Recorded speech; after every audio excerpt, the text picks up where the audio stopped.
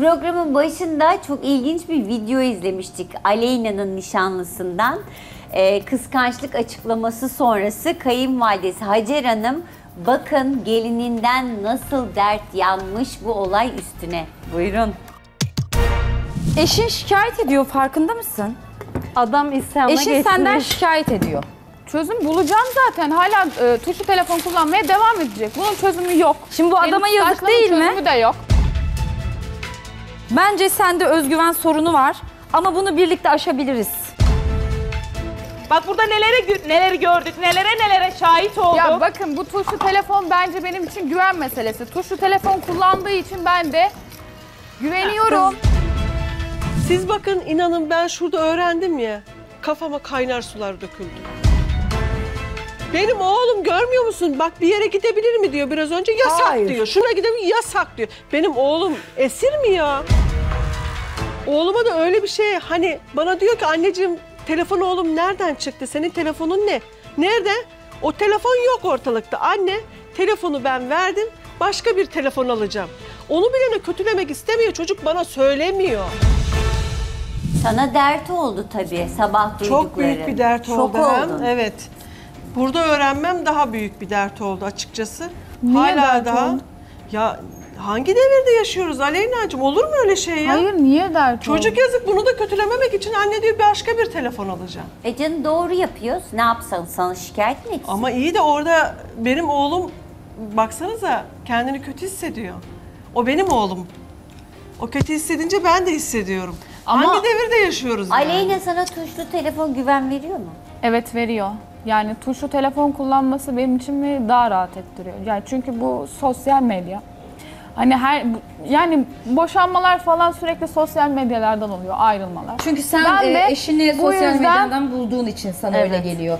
Eşini başka yerden bulsaydın sosyal şey medya soracağım Tuğba. Yani aklını karıştırırlar Siz diye nereden korkuyor musun? tanıştınız? Görücü usulü aynı onun Görücü gibi benim de. usulü. Düğünde görüp beğendiler. Ben sosyal medyadan tanıştım. Ama buluştum da görüştüm de uzun Onu süre flört diyorum, kaldım onu ama diyorum. tanıdım onu. Biri ben daha yazar diye evlenmedim ki. Evet, Biri daha yazar diye mi korkuyorsun? evet. Kıskanıyorum, Acaba öyle korktuğumdan değil yani. Kendime de Aslında- güveniyorum. Ama Aleyna olabilir mi yani sosyal medyada aslında böyle arkadaşlıklar ilerleyebiliyor ya. Sen Bu de öyle devirde- tanıştığın için acaba öyle mi Bu düşünüyorsun? devirde kimseye güvenmiyorum. yani Bir sosyal şekilde. medyası yok mu nişanlının? Var, arada giriyor. Nasıl sosyal giriyor? medyasına. Telefonu yok. Benim telefonumdan giriyor. Aa. O, o. Sen de kapat o zaman. Evet. Zorla yaptırmıyor ki çocuğuna. Yani Ama, ya- ama bakın en zayıf noktası ne? Sevdiği için bir şey söyleyemiyor. Evet yazık. Yani bunun da bu tarafından bakıyorum. İnanın bak şu an gerçekten ciddi anlamda söylüyorum. Orada da söylediğim gibi size yemin ediyorum başımdan kaynar Sana sular fazla döküldü. geldi bu kadar Aynen çünkü ben kıskanması. çocuğumu 8 seneden sonra buldum. Aa. İnanın nasıl büyüttüm. Nasıl buldun? Şu an yani benim tedaviyle oldu oğlum. 8 Ha, sene sonra oldu. ya. Yani e, doktorların dediği gibi de herkesin çocuğu kıymetli. Kıymetli bebek diye oldu. Ben oğlumun o şekilde dediğini duyunca inanın gerçekten yutkundum yani. Yutamadım yani. O yüzden bu konuda açıkçası tedirginim. Böyle bir şey olamaz. Bence evliliğe gitmeden önce güven çok önemli. Evet. Bence ilk kitap okurken ön sözünde güven olmalı. Evet. Güveni Ben- okumalıyız. Güven varsa yolumuza devam etmeliyiz. Ben zaten güveniyorum. Madem Etrafı şikayetçi güvenmiyor. gelip bana söylesin. Ama bak demek ki sorun oluşacağını Anne sen neden her ki. şeye karışıyorsun ki? Oğlum Ama niye yani şikayetçi değil. Ama belki de adam şikayetçi olamıyor Ya baksana. tamam kayınvalide olabilirsin ama bu her şeye karıştığın hakkın doğurmaz Şu an yani. karışmak değil. Sadece ben kendi çocuğum açısından üzülüyorum bu duruma. Gerçekten Ya üzülüyorum. ne için üzülüyorsunuz? Zindana kapatmadım ki adamı. Ama şu an Taş özgürlüğünü devrinde elinden değiliz almış sadece oluyorsun. telefon kullanmıyor. Tuşlu telefon kullanıyor. Sevgi ayrıdır. Bak sevgi apayrı bir şeydir. Sonra güncel yaşam ayrıdır. Ne bileyim bazı şeyler ayrıdır. Sen şu an telefon zaten haberleşme aracı. Haberleşebiliyoruz. Tamam arada bir sosyal medyaya girebilir. İlla başka güven işte.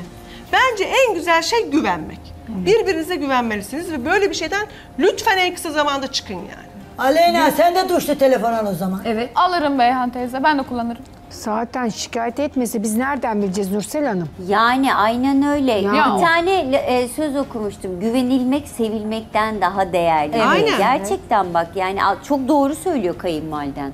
Bence de. Hayattaki en büyük yapı taşı yaşamımızda güvendir arkadaşlar. güven olmadan ileriye bakamayız. Doğru. O yüzden her tür evlilikte de, ilişkilerde de, ticaret ilişkisinde de Kesinlikle. her şeyde güven olmadan adım atamayız. Atabilir Şey, miyiz? kurt Atamayız. düşer yani sürekli kafana Evet. kurt düşer herhangi bir şeyde sürekli Başka Ya, Çok yanlış şeyler Ya gelir zaten aklına. şu an tuşlu telefon kullandığı için kurt düşmüyor aklıma. Ne Bak biliyorsun? sen bu kadar düşünüyorsun. kıskançsın. Saçını sarıya boyayabilmişsin. Kırmızı rujunu sürmüşsün. Evet, Madonna yakanı giymişsin. Eteğini giymişsin. Adam sana hiçbir şey söylemiyor. Yazık, Sen de söyleyemiyor. gösterişli bir kızsın. Neden söyleyemiyor? Ne bileyim bence söyleyemiyoruz. Çünkü Ha. seni sevdiği için söyleyemiyor E belki ben de de. onu seviyorum zaten. İşte bak sevgide nedir biliyor musun? Sevgide fedakarlıktır. Eğer bazı şeyi karşında görüyorsan kendinde yapmayacaksın. Eğer ona tuşlu telefonu yasaksa sen de yasaklayacaksın. Tamam ben de kullanmayacağım. Tamam siz de şahitseniz gidince ben bir tuşlu telefon alıyorum. Evet. Madem yola çıktın beraber aynı ağırlığı taşıyın ki o yükü ne kadar taşıyabileceksiniz? Şimdi Gittiğiniz bence yol onlar nedir? eşiyle bir konuşsunlar bu konuyu. Bence de. Çünkü Aleyna tamam ben de kullanmayacağım diyerek tavrını tripli bir şekilde belirtti. Yani aslında biz sadece konuşuyoruz. Hayat Aynen. sizin hayatınız. Çok genceciksin ama bu, bu böyle kemirmesin kafanı böyle şeyler, düşünceler, Ya Nursel Hanımcığım güvensizlikler. ben çevreye güvenmiyorum bakın gerçekten. Zaten dışarıya çıkarken de benimle çıkıyor. Yapan ben de onunla dışarıya. Çevre ne kadar yazarsa yazsın. Senin eşinde bir karşılık Aynen. yoksa istediği kadar yazılsın ya. Aynen. Bırak yazsın havan olur ya. Aleyna sen şeye de karışıyor musun? Parfümüne, işte giydiği Yok, kıyafete. hayır, buna karışmıyorum. Ay bugün çok şık oldun. Öyle Ay, şeyler ben yapıyor bayılırım musun? güzel görünce. Yok.